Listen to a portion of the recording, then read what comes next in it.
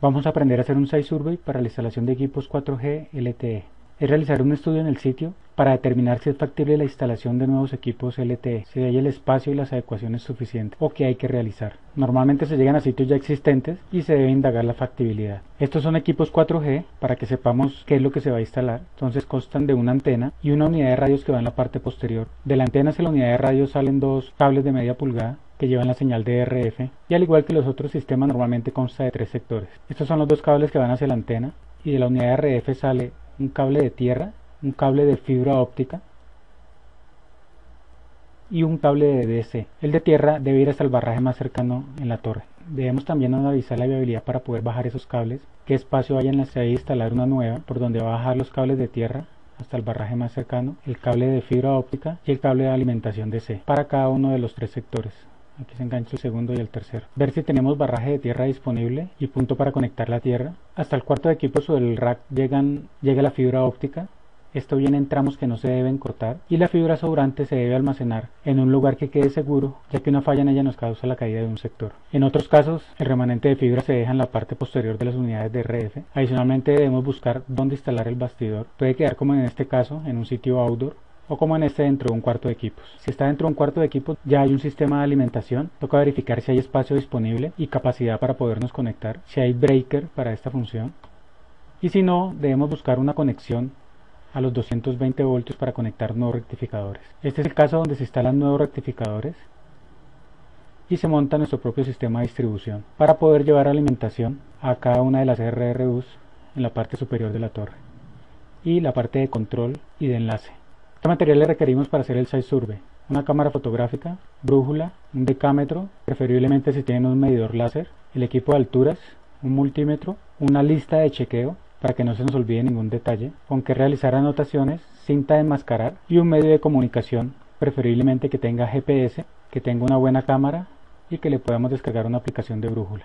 Adicionalmente podemos montar la lista de chequeo dentro de nuestro dispositivo. Esta es una lista de chequeo rápida y lo que vamos a aprender hoy es a llenarla. Entonces inicialmente aquí colocamos el sitio el que estamos visitando, la fecha en que se realiza la visita. Iniciamos con la primera, que es foto panorámica de la torre. Para tomar la foto panorámica de la torre debemos utilizar la brújula para poder determinar dónde está el norte y dependiendo de nuestra torre si es triangular o cuadrada o un monopolo que es circular, determinar cuál es el vértice A. El vértice A es el que apunta más hacia el norte. Y luego procedemos en sentido de las manecillas del reloj a seguir numerando. Quedaría el B, el C y en el caso de una cuadrada existiría un D. Teniendo eso claro, entonces más o menos media cuadra antes de llegar al sitio debemos empezar a tomar las fotos panorámicas. La primera recomendación es no utilizar muchos megapíxeles, con dos o tres es suficiente. Sabemos que en este momento hay cámaras que pasan de los 10 megapíxeles, pero las fotos se vuelven demasiado pesadas para manejarlas. La primera foto que se debe tomar es una donde aparezca el nombre del sitio. Por ejemplo, si el sitio se llama Veracruz, tomar una foto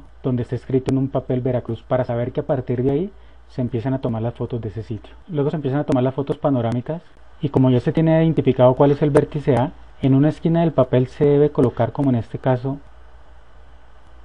la letra A y tomar la foto que se alcance a ver para determinar que este es el vértice A. Esta foto donde sale esto no importa que salga borrosa, porque las fotos anteriores ya se logra ver bien la torre.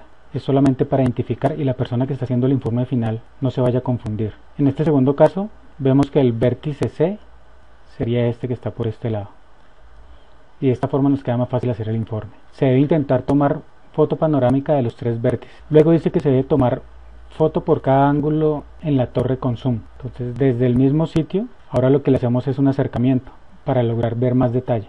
Y aquí ya empezamos a hacer una identificación de espacios disponibles. Lo que se pretende es buscar en la parte más alta de la torre, en el tercio superior de la torre, que en este caso vendría siendo como hasta acá. ¿Y que podemos apreciar a simple vista? Que aquí hay espacios vacíos en toda la cima aquí está solo el soporte entonces ya podríamos ir determinando la opción de que en toda la cima se puede instalar aquí una parte del sector y entre estas antenas si son nuestras se puede instalar nuevos soportes en esta zona vemos que está ocupado por esta antena por estas dos, en la parte posterior hay otra y ya nos tocaría en esta zona un poco más baja. Si estamos visitando un sitio en el que nos encontramos co-ubicados, como se paga riendo por tener las antenas, la idea es no ocupar más espacio y la propuesta debe ser cambiar estas antenas por antenas de doble banda para poder mantener el sistema antiguo y el nuevo que se va montando. Si ya no fuera factible ubicarlo en toda esta zona, entonces en este caso el sitio más adecuado para instalarlo sería en esta parte, por debajo de las antenas de microondas. y reservaríamos un espacio de más o menos 2 metros.